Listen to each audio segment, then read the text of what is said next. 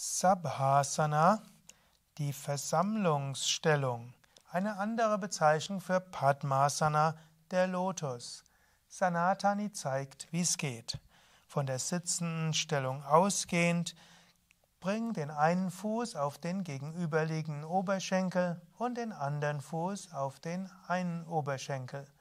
Sitze gerade, gib zum Beispiel die Hände auf die Knie oder Oberschenkel mit Handflächen nach oben, zum Beispiel im Chin Mudra.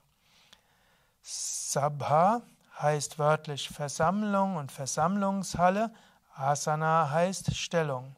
Sabhasana könnte bezeichnet werden als die Stellung, die man in einer Versammlung einnimmt. Man könnte annehmen, dass als die Siddhas, die großen Meister, sich getroffen haben, um über etwas zu beraten, haben sie sich hingesetzt im Lotussitz, haben sich innerlich gesammelt und auf diese Weise innerlich Kraft angesammelt.